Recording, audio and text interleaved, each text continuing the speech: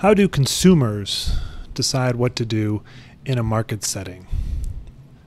That's what this unit's about. So, we've already covered kind of the basics of how consumers have preferences over things. So, we can imagine food and shelter as two things they care about. And uh, we've constructed a utility function and indifference curves to map their preferences over different trade-offs where they get more food and less shelter or vice versa. And we can do this over anything, any bundle of goods, uh, as many as we want, not just two things in general. So this is their preferences and in general people prefer to be up here. They, th- we assume that more is better. That's one of the assumptions of these utility functions and preferences. And so, given any option, consumers are going to want to get as much of both as they possibly can. But that's not the choice they face. Uh, in a market, consumers have to pay prices to get goods. Okay. And that's important because they also have a certain amount of income.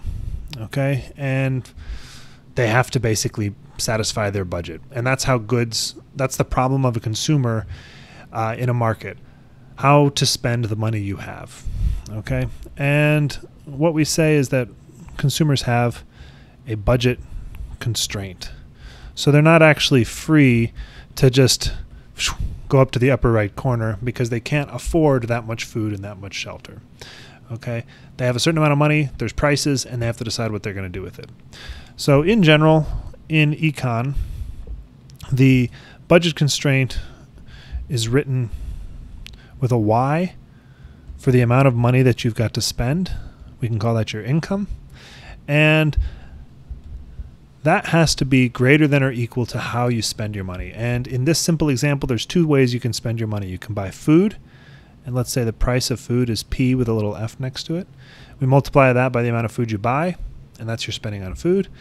Or you can spend it on shelter, and that's your spending on shelter. Okay. And in a market, and a, the most you can possibly buy is if you spend all your money. So the amount you spend on food and shelter has to be less than your income. So in the next video, we'll talk about how we can graph this kind of relationship and use that to figure out some conditions on how consumers are going to spend their money in a market economy.